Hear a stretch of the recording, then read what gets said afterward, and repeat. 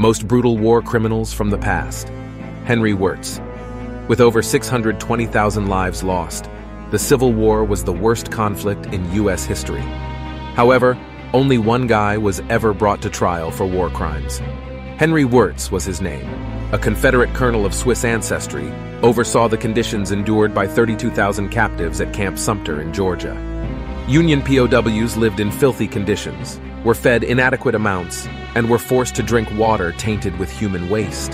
Thousands of people got sick from scurvy, dysentery, and diarrhea because of the terrible sanitary system. Over 13,000 people were killed. When tried for breaking the laws of war, Wirz said he was only doing what he was told.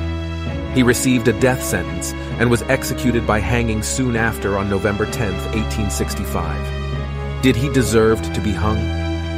Since he stated he was only following orders.